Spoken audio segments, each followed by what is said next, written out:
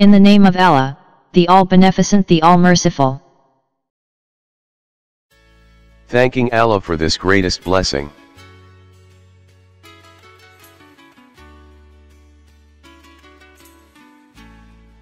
Being grateful to the benefactor for his favors is a matter of rational necessity.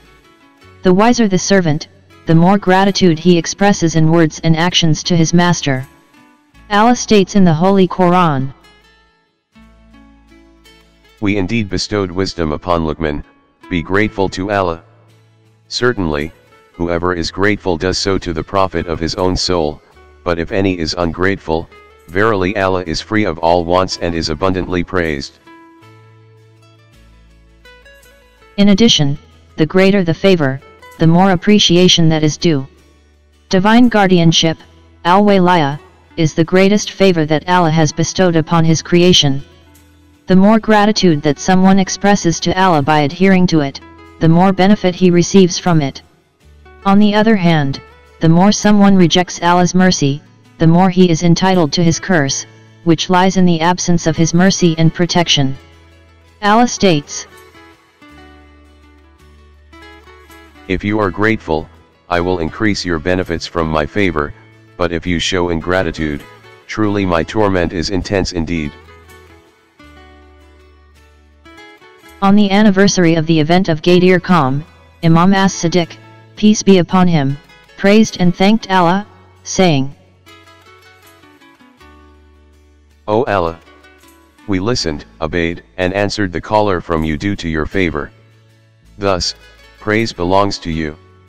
We seek your forgiveness, our Lord, and towards your reward or punishment is the eventual turn. We believed in Allah, who is unique and has no partner, believed in his messenger, Muhammad, answered the caller of Allah and followed the messenger in adhering to our master, the commander, and the guardian of the believers, Ali ibn Abi Talib. He is the servant of Allah, the brother of his prophet, the most truthful, his exhaustive argument against his creation, the supporter of his prophet, and his true and clear religion. He is a flag of the religion of Allah, the treasurer of his issued knowledge, the chest of what is hidden by Allah, the place of his secrets, and the trustee of Allah and his witness over his creation. O Allah! We have heard the call of one calling us to faith, believe in your Lord, thus we have believed. Our Lord! Forgive us our sins, blot out from us our evil deeds, and take our souls in the company of the righteous. Our Lord! Grant us what you promised to us through your messengers, and disgrace us not on the day of judgment, for you never break your promise. Surely it was by your favor and your grace that we acknowledged the Prophet and the commander of the believers Molana Amirul Mu'minin Al-Imam Ali, and disbelieved in Al-Jait and Ataghut. Thus, keep us attached to what we have adhered to.